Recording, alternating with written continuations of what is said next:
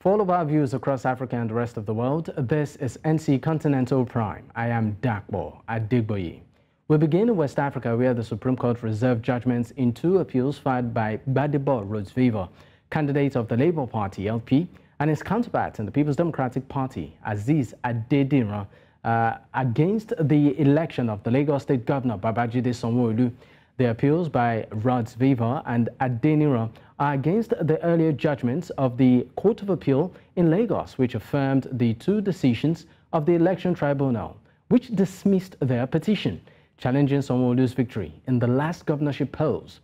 A five-member panel of the Supreme Court, presided over by Justice John Okoro, told parties that they would be informed when the judgments are ready. Deputy Governor Femi Hamzat, Secretary to the State Government, Abimbola Salu Hundeyin, and uh, some other senior officials of the Lagos State Government witnessed the court session. Staying in Nigeria, the National Assembly may pass the 2024 budget of 27.5 trillion naira on Saturday, as about uh, 541 ministries, departments, and agencies of the federal government conclude their defense. The chairman of the Senate Committee on Appropriation, Adeola Solomon, says the upper legislative chamber would resume plenary on Wednesday. According to him, his committee has uh, opened its secretariat with all subcommittees of the Senate, uh, where they will submit their reports. He also expressed confidence that the Committee on Appropriation would submit its report on Thursday, adding that the budget would be passed on Saturday. On November 29th, President Bola Ahmed Tinubu presented a budget of 27.5 trillion naira to a joint session of the National Assembly. A report published by the Central Bank of Nigeria shows the banking industry's average net liquidity has decreased to 300.68 billion naira in August 2023 from 562.04 billion naira in the preceding month.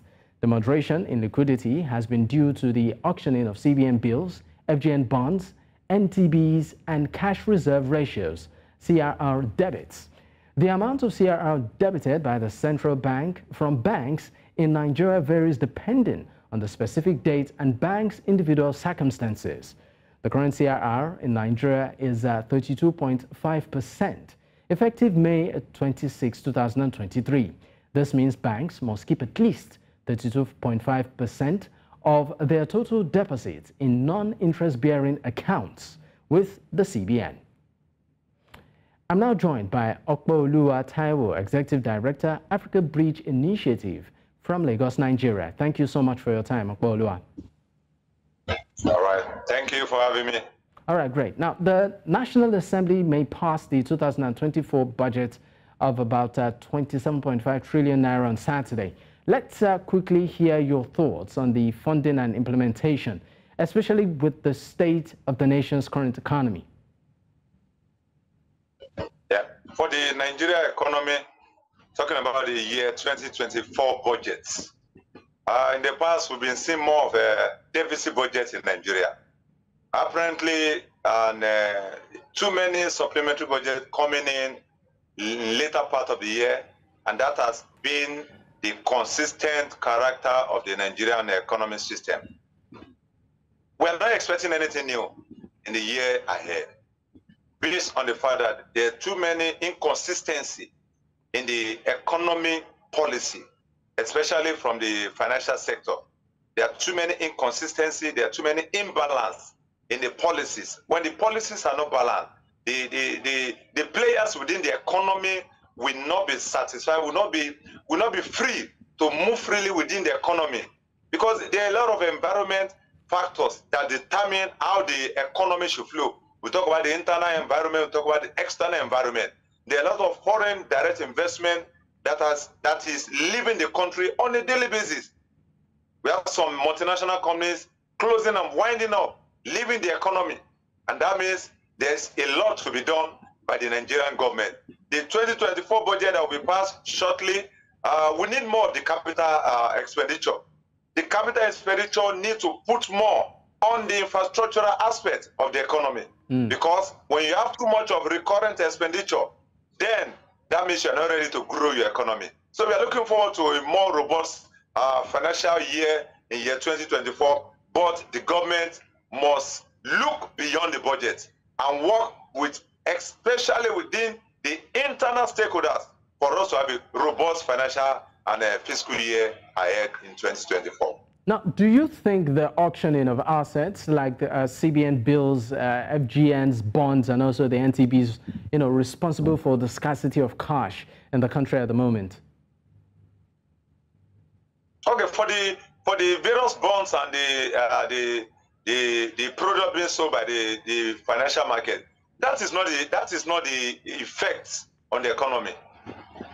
Even the CBN is not having the enough grip on the economy. The CBN, the CBN is not having enough grip on the economy why, yet. Why is that? So, why so do you think the CBN blaming, doesn't have enough grip on the economy?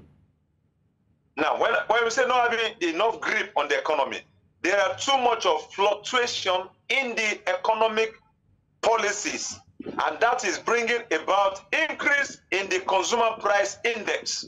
When the consumer price index is high, then the inflation will be high.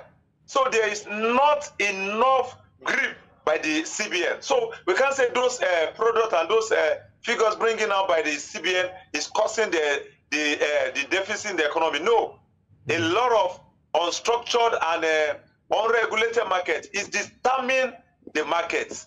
So we should stop allowing the the invisible one to determine how the economy should run.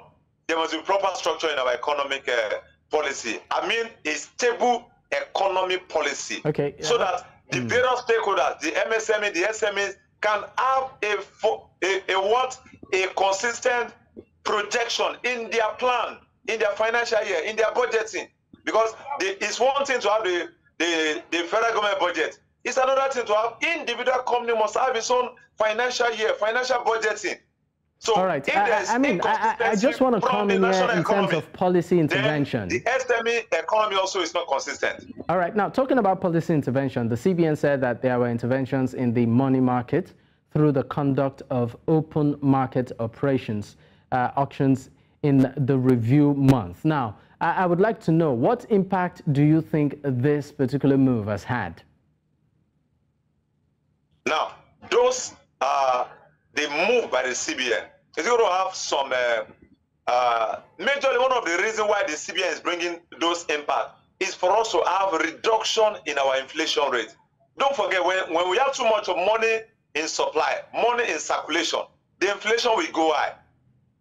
And when the inflation is going out, the, the SME space is having too much of inconsistency to work with because we have what we call the forex trading for the SMEs to, to work around, for them to have uh, returns on their investment. We have too many products for them to work with. But the unexpected economic disruption is causing the SME not to have enough return on their investment. So the CBN is still on the right path, having to work with the money supply and circulation so that we can have reduction in our inflation within the economy.